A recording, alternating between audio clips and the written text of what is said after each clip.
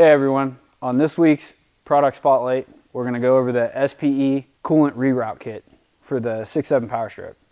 It's a full silicone hose, reinforced silicone hose kit to replace essentially the rubber lines that will be left on the truck when you do like an EGR delete, uh, intake manifold kit, piping, etc. You end up having to tee into the rubber hoses and it just ends up looking really bad aesthetically.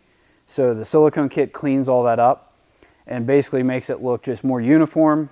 Um, you can see it on the, on the truck, but the silicone aspect of it makes it a lot more aesthetically appealing compared to just general rubber coolant hose.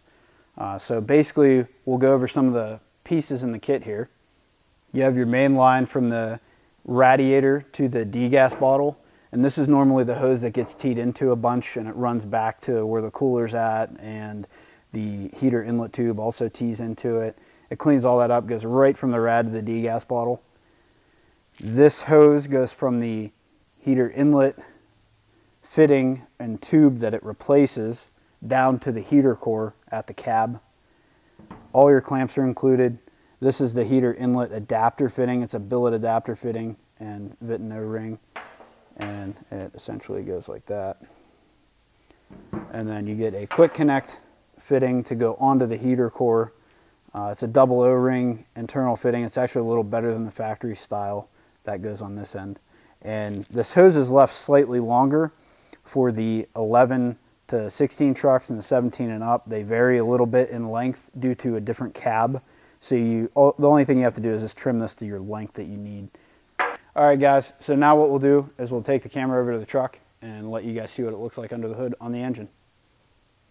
So here's your the hose that runs to the degas bottle, obviously here, runs across to the other side of the rad. Very simple layout.